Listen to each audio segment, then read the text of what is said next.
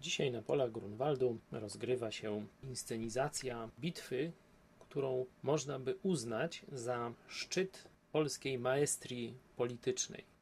Ta bitwa została przygotowana praktycznie pod każdym względem i takim powiedzmy organizacyjnym, materialnym. Już na kilka miesięcy, kilkanaście miesięcy wcześniej przygotowano zapasy mięsa solonego i wędzonego, zapasy wina, przygotowano specjalne łodzie, które później spławiono w górę Wisły i zbudowano z nich most pontonowy, czyli też y, praktycznie wykorzystanie pewnej maestrii technicznej, manewru wojskowego, bo właśnie wtedy wojska polskie przeszły z lewego na prawy brzeg, co zaskoczyło Niemców, y, Krzyżaków.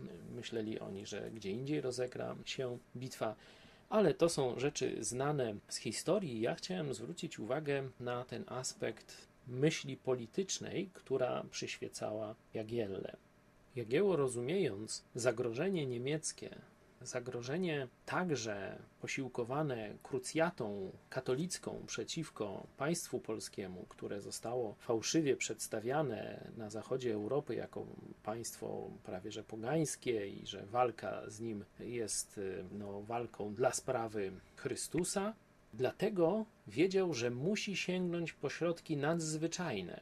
Nie wystarczyło oparcie o rycerstwo polskie, nawet nie wystarczyło, myślę, że oparcie o rycerstwo litewskie.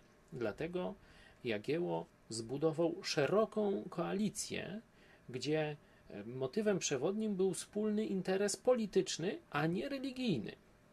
To jest coś niezwykłego w polskiej polityce, niezwykłego dzisiaj, kiedy mamy taką zbitkę Polak-katolik i walkę o Polskę często miesza się z walką o katolicyzm i odwrotnie. Dla Jagieły sprawa państwa była czymś w dużym stopniu niezależnym od sprawy Kościoła. Stanisław Michalkiewicz dzisiaj to mówi, że dla istnienia Kościoła państwo polskie nie jest konieczne.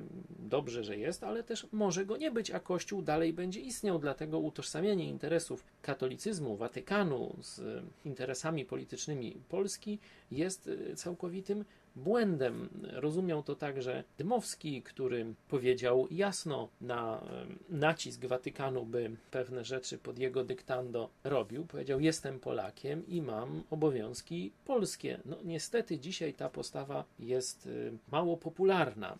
Widać było ją u Lecha Kaczyńskiego, który wypowiadając się na temat kary śmierci, powiedział, że on ma zdanie inne niż papież i ogólnie uważa za sprawiedliwe wymierzanie kary śmierci. Także jest to jakiś taki może nieśmiały, mały, ale powrót do takiego traktowania spraw politycznych i społecznych w pewnej jak gdyby niezależności od e, spraw religijnych. I właśnie takie założenie polityczne przyjął Jagiełło. Dlatego pod Grunwaldem, oprócz wojsk polskich, które z, ze śpiewem Bogu Rodzicy ruszyło do walki, były też wojska litewskie, pułki smoleńskie, tatarskie i husyci czescy, którzy rozumieli, że król Polski, że król Jagiełło będzie rozgrywał politykę